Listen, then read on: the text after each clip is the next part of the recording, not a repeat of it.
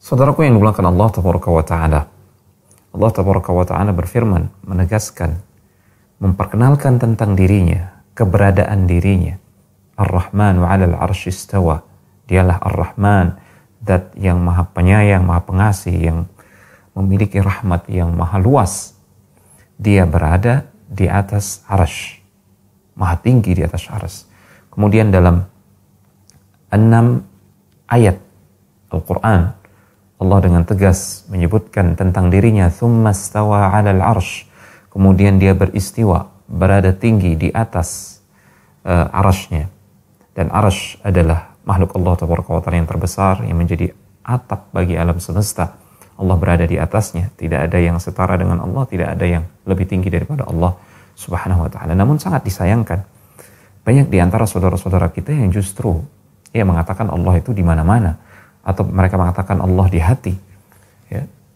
Ketika ditanya di mana Allah Taala justru mereka tidak bisa menjawabnya atau tidak berani menjawabnya padahal mereka membaca ayat-ayat Al-Qur'an yang menunjukkan Allah Taala berada di atas tinggi, maha tinggi di atas segenap makhluknya dengan ketinggian yang mutlak, sifat tinggi yang layak bagi bagi Allah yang maha sempurna dan maha agung.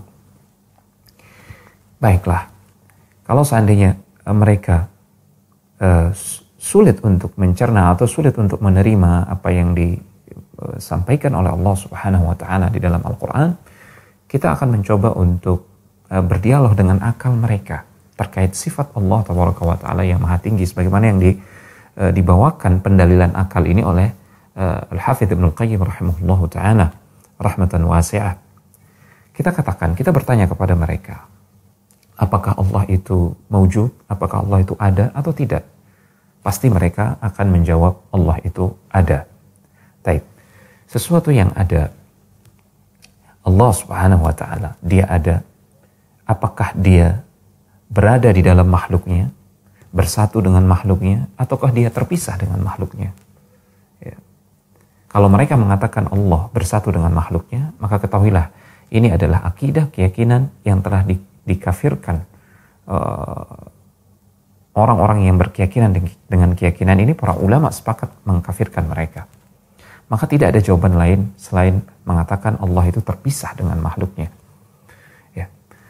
Sekarang jika Allah terpisah dengan makhluknya maka ada uh, kemungkinan beberapa kemungkinan Allah itu berada di atas ataukah Allah berada di bawah makhluknya atau Allah berada setara dengan makhluknya ya berdampingan dengan makhluknya Sekali lagi kemungkinannya adalah uh, imma Allah itu berada di atas makhluknya atau Allah itu berada di bawah makhluk atau Allah itu setara ya, sebanding dengan makhluknya.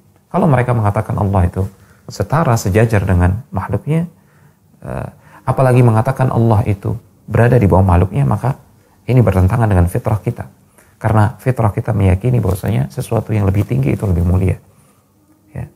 Demikianlah satu-satunya kemungkinan yang layak bagi keberadaan Allah Taala adalah dia berada di atas makhluknya.